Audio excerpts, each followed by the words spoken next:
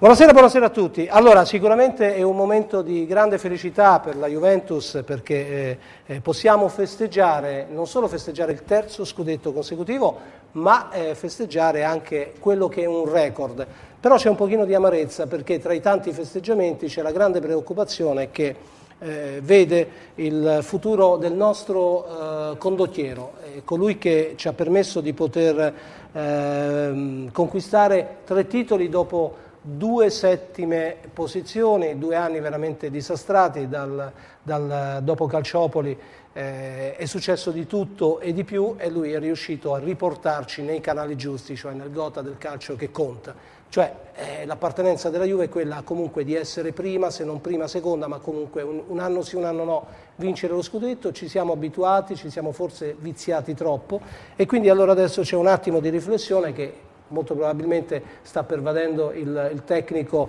eh, juventino perché capisce, almeno dalle dichiarazioni che ha fatto, molte sono le dichiarazioni, capisce che eh, alcuni giocatori eh, devono eh, essere, se non sostituiti, comunque devono avere un, eh, un attimo di, di riflessione anche loro, cioè rifare una squadra non è semplice, un, uh, tre anni giocati con un'intensità incredibile come quella che l'allenatore della Juventus ha dimostrato, ha spompato, usiamo questo termine, alcuni elementi importanti di questa squadra, quindi sicuramente bisogna entrare nel mercato. È ovvio che per entrare nel mercato ci si chiede, ma allora se questo allenatore rimane, eh, il programma qual è? Il programma è di fare una Juventus competitiva per l'Europa, però eh, se deve essere competitiva per l'Europa servono tanti soldi affinché questo possa effettivamente avvenire. Tanti soldi eh, non ce ne sono, eh, anche se la gente dice che la Juventus ha moltissimi soldi sul mercato, ma comunque io non credo che la gente sia in grado di eh, fare i conti in tasca a una società come la Juve, che tra l'altro è anche quotata in borsa. Il fatto di avere uno stadio di proprietà non vuol dire che tu abbia più soldi degli altri, eh, nell'immediato. Dopo sì, ma non nell'immediato. Ricordiamo che questo è uno stadio che ha tre anni di vita e i bilanci chiaramente devono quadrare prima di poter eh, usufruire di quelli che sono i benefici grazie a tutto quanto ciò che ruota attorno a un elemento importante quale può essere una proprietà, in questo caso lo stadio o addirittura una cittadella come quella che farà la Continassa la Juve. Ma questo è un altro discorso. Il discorso principale è sapere effettivamente il futuro di Antonio Conte perché senza un allenatore nuovo non si possono prendere altri giocatori, a meno che la società non fa un tipo di programmazione, dice va bene, allora Antonio Conte con ogni probabilità ci lascerà, è già un problema grosso quello di sapere chi sarà il sostituto, perché voi provate a immaginare tre scudetti consecutivi, poche soddisfazioni in Europa, d'accordo, però comunque tre scudetti consecutivi siamo entrati nella storia. Qualsiasi sia l'allenatore che arriverà alla Juventus sarà veramente un problema poter fare meglio. L'unica cosa, io credo, un allenatore se dovesse ipoteticamente mai Dio volesse che andasse via il nostro allenatore, ci mancherebbe altro, io poi in modo particolare sono particolarmente legato a lui, quindi non vorrei sinceramente pensare a un altro allenatore che non fosse Conte, ma qualsiasi altro allenatore dovesse arrivare qui, vincere un altro scudetto, sì, va bene, non tre di,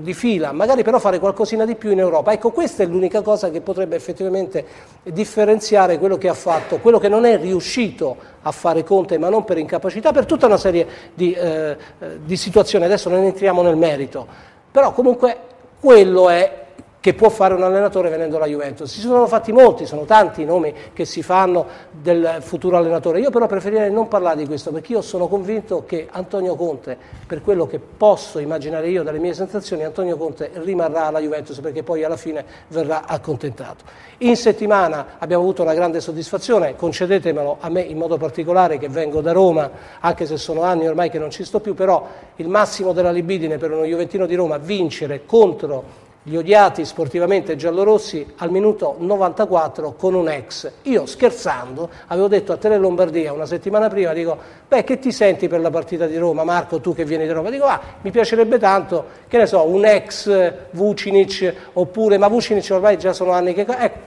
Osvaldo, perché no, magari riuscisse a segnare. Questo per fortuna non è che me lo sono inventato perché tutto è registrato, infatti me lo hanno riconosciuto a Milano Oh, ma ha segnato Vucinic al minuto 94esimo. Io penso che è il massimo della libidine. Dopo questo, dopo questo risultato, dopo questo risultato è successo che molti però hanno rosicato a Roma. Tra i tanti ci sono eh, dei grandissimi personaggi, non solo del mondo del, eh, del, giornalismo, ma anche avvocati importanti, di cui non faccio il nome, che però dicono che gli ultimi due scudetti della Juventus sono sospetti, allora adesso cominceranno a fare delle indagini per vedere. Insomma, sono cose che a noi sinceramente ci fanno veramente ridere. Questo aumenta ancora di più la nostra, eh, la nostra libidine calcistica nel vedere che gli altri non sanno più a che cosa attaccarsi. Ci sarà una grande manifestazione invece, tornando subito nell'immediato, eh, domenica mattina all'ENI davanti all'hotel della Juventus, eh, il, ehm, una manifestazione eh, di eh, solidarietà, più che di solidarietà, di preghiera all'allenatore juventino affinché possa rimanere. Io comunque, ripeto, non credo che queste manifestazioni possano in un certo senso, per come la penso io, incidere più di tanto, perché se c'è una decisione che una, una persona prende, eh, la fa indipendentemente dalle manifestazioni, però sicuramente qualche cosa potrebbe anche smuovere, se non altro un pochino di sentimento, qualche riflessione. Quindi questo grande appuntamento, poi ne parleremo e avremo anche un collegamento per sapere quali saranno proprio le coordinate per arrivare all'Enea o comunque per chi non è di Torino sapere come deve fare per andare a pregare l'allenatore di rimanere alla Juventus. Nel corso della serata parleremo di tante altre cose, anche di calciomercato, anche se è presto perché ripeto dipende molto dall'allenatore, avremo altri collegamenti specialmente con voi da casa. Allora io do subito la linea alla regia regia per la pubblicità, mi dicono benissimo, ringrazio e mi scuso se mi sono dilungato più di tanto, però insomma eh, capite molto bene che è un momento particolare di festeggiamenti, ma anche un pochino di amarezza e devo dire che questa proprio non ci voleva, ma speriamo che le cose si possano sistemare. Conte con noi è quello che auspichiamo tutti. Linea alla regia, grazie.